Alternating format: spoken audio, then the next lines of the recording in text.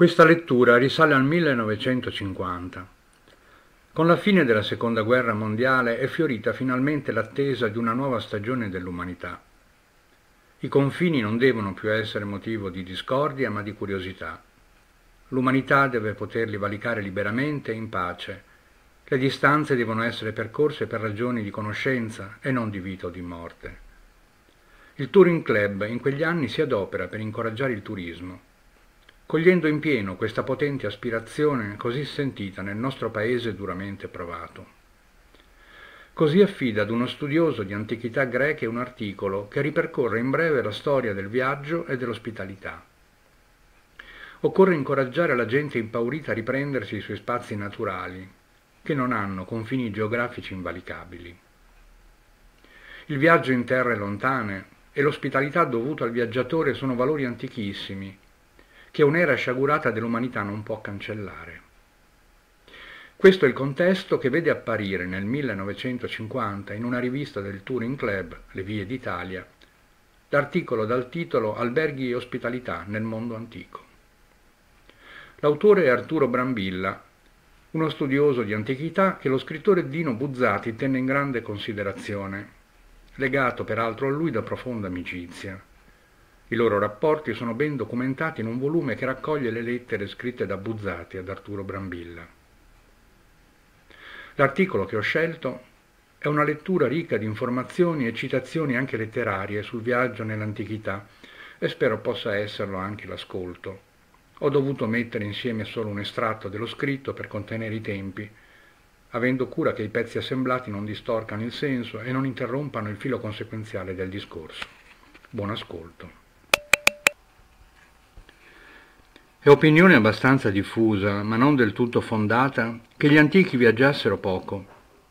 Bisogna fare perlomeno alcune distinzioni. Se per esempio si lasciano da parte i grandi movimenti di popoli che si verificavano in occasione di migrazioni o di guerre, si può effettivamente ritenere che prima della costituzione dell'impero romano i viaggi di carattere individuale e privato fossero piuttosto rari. Coloro che viaggiavano rappresentavano allora nel complesso della popolazione una porzione piccola e ben individuata. Commercianti innanzitutto, poi ambasciatori e altri funzionari pubblici e uomini politici, pellegrini in visita ai santuari per assistere alle feste o per consultare gli oracoli, e infine piccolo manipolo i dotti, che giravano il mondo per curiosità di sapere. Quando poi Roma unificò tutto il mondo conosciuto sotto il suo impero e stabilitavi per più secoli la pace, aprì nuove strade e garantì la sicurezza delle comunicazioni. I viaggi presero un impulso enorme, tanto che gli studiosi che si sono occupati di questo argomento hanno concluso che il traffico giunse allora a un grado di sviluppo che non fu poi più uguagliato fino all'inizio del secolo scorso.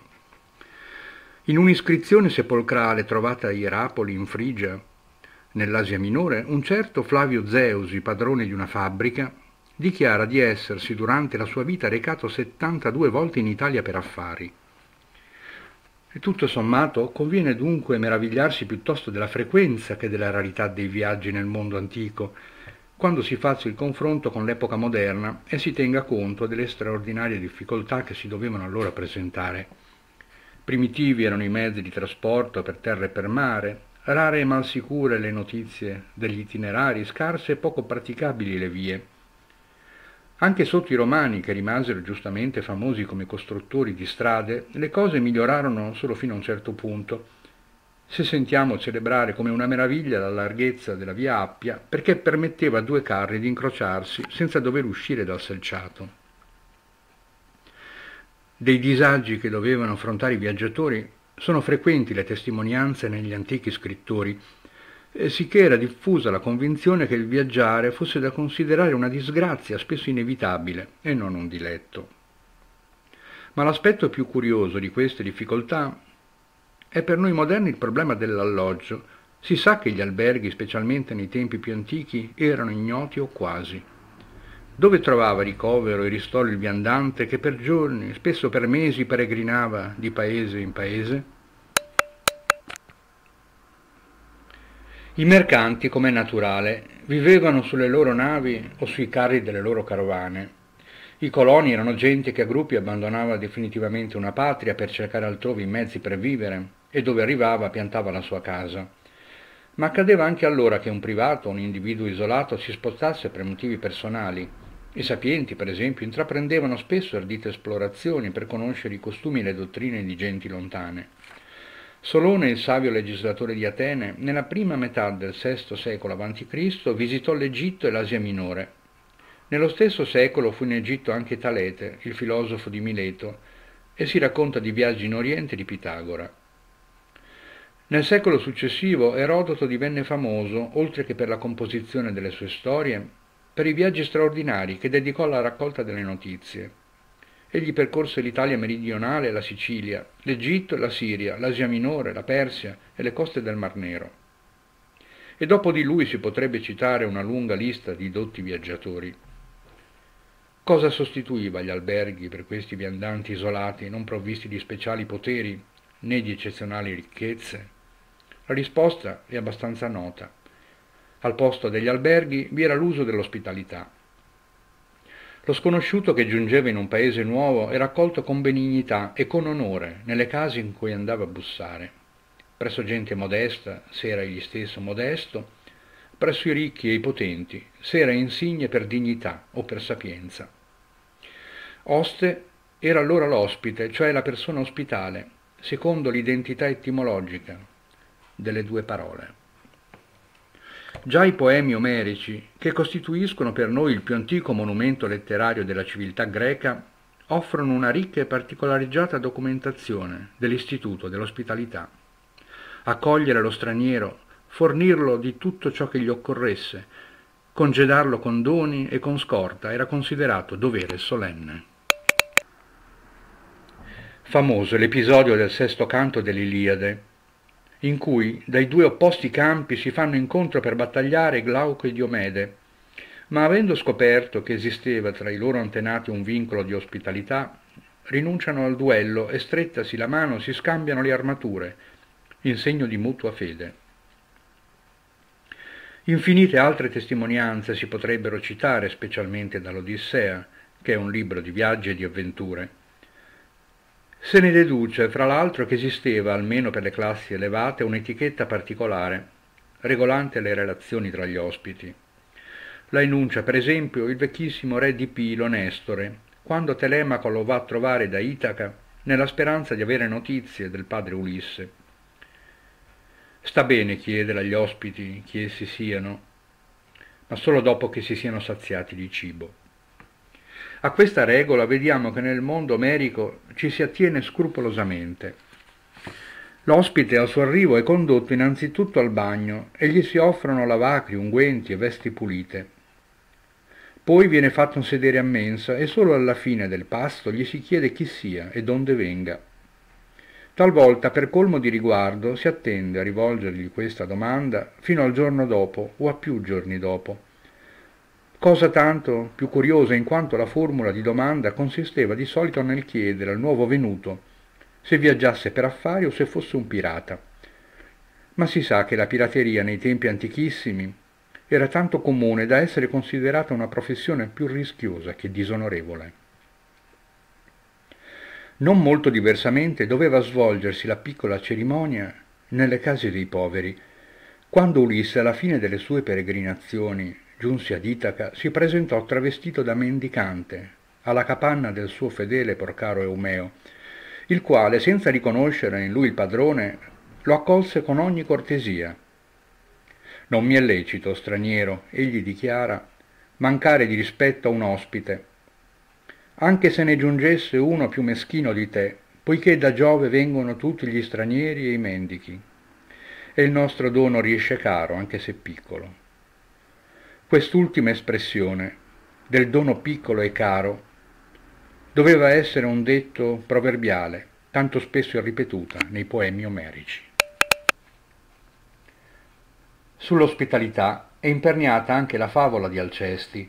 Il re Admeto dovette all'ospitalità concessa ad Ercole di riavere la moglie, che era morta volontariamente per lui.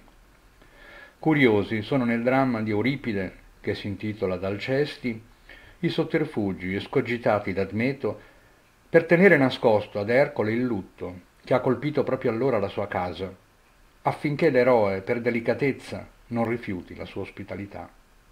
Quando Ercole viene a sapere fino a che punto Admeto ha spinto il suo dovere ospitale, per ricompensarlo s'azzuffa personalmente con Tanato, il dio della morte, gli strappa Alcesti e la restituisce al marito.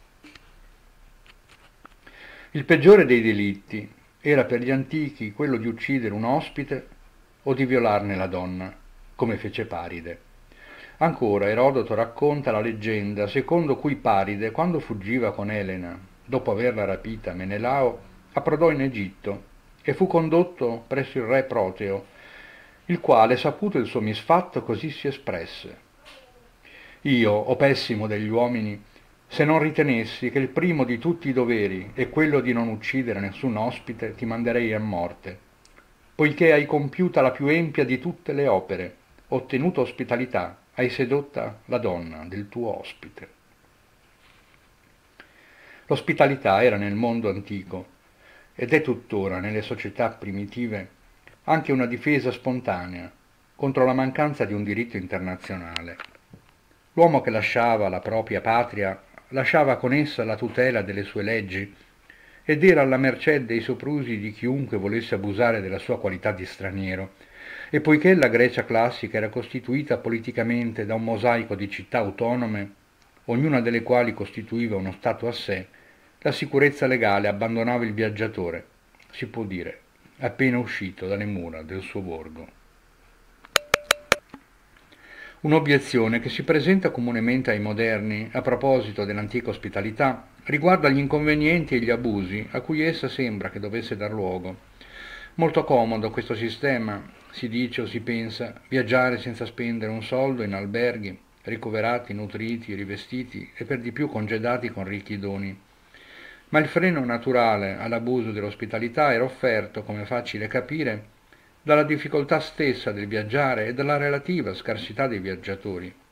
Per notevole che fosse lo sviluppo dei traffici, bisogna pensare che la massima parte degli uomini conducesse un'esistenza sedentaria e che non solo nei paesi, ma anche in molte città la vita scorresse monotona e isolata dal mondo.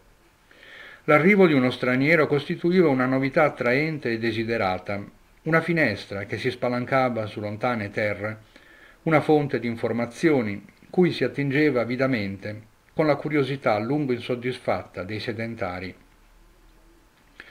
L'Odissea è riempita per alcuni canti dai racconti che Ulisse fa delle sue peregrinazioni ai feaci che lo ospitavano. L'Eneide dai racconti analoghi fatti da Enea a Didone e l'interesse degli ascoltatori appare insaziabile e vorrebbe che la narrazione si prolungasse all'infinito. Anche i doni che si offrivano agli ospiti, oltre che un segno di umanità verso i bisognosi, erano un compenso per il piacere che l'ospite aveva recato con la sua venuta. Nel Timeo di Platone, dove l'ospitalità è data e ricambiata da filosofi, Socrate e i suoi ospiti dichiarano di volersi offrire reciprocamente come doni ospitali addirittura i discorsi stessi e i ragionamenti di filosofia. Si può concludere, generalizzando, che l'ospitalità in ogni tempo e in ogni paese tanto più diffusa quanto meno frequenti sono i viaggi e più rari i viaggiatori. L'intensificazione del traffico, che come si è detto in principio si verificò sotto l'impero romano, dovette segnare l'inizio della decadenza di quell'ospitalità incondizionata che caratterizza i tempi più antichi un indizio sicuro è offerto dalle testimonianze sempre più frequenti sulla diffusione degli alberghi. Poiché l'ospitalità professionale che si esercita negli alberghi è in un certo senso l'antitesi dell'autentica ospitalità occasionale e spontanea.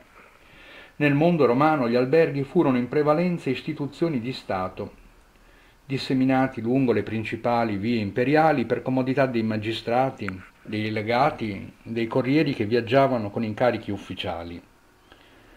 Li tenevano appositi impiegati, chiamati parrochi, con parola greca che vuol dire fornitori, e l'ospitalità che essi erano stipendiati per offrire doveva essere modesta e ridotta all'indispensabile. Legna e sale, dice Orazio, con una formula probabilmente tradizionale per indicare il vitto e l'alloggio. Solo in qualche località famosa, per un santuario o per sorgenti di acque salutari, sappiamo che vi erano alberghi più grandi e più comodi a disposizione di chi volesse usarne, come a Olimpia e a Pidauro nel Peloponneso e a Canopo in Egitto. A Epidauro, stazione di cura assai frequentata, si è riconosciuta la pianta di un edificio con 180 camere. Anche le osterie, taberne, caupone, erano molto rozze e dimesse, frequentate per lo più da gente di bassa condizione e spesso malfamate per storie di corruzione e di brigantaggio. Solo in caso di necessità vi ricorrevano i viaggiatori di classe elevata. I grandi personaggi e i ricchi in giro di affari o di piacere portavano con sé un seguito numeroso di servi d'ogni genere e una quantità di bagagli e ove non pernottassero presso i maggiorenti dei vari paesi disponevano di tende e di carri attrezzati per dormirvi, le carruche dormitorie, vere antenate delle vetture con letti dei nostri treni. Famosi rimasero i viaggi di Nerone, di cui si diceva che non si muovesse mai con meno di mille vetture al seguito, e degno di ricordo in senso opposto quel pretore Tirchio, di cui parla canzonando l'Orazio in una satira, che viaggiava con soli cinque schiavi recanti il vasellame di cucina e pare altro vaso, ancor meno decoroso. Si dà quindi questo curioso contrasto tra il mondo antico e il moderno, che mentre oggi la povera gente, quando si muove di casa, cerca di accomodarsi in qualche modo presso parenti e conoscenti, continuando un poco le vecchie tradizioni dell'ospitalità ed evitando gli alberghi troppo dispendiosi, Nell'antichità erano piuttosto i ricchi che facevano a meno degli alberghi e li lasciavano alla povera gente. Ad un albergo il buon samaritano del Vangelo consegnò, perché ne avessero cura, lo sconosciuto che i ladroni avevano derubato e lasciato mezzo morto sulla strada.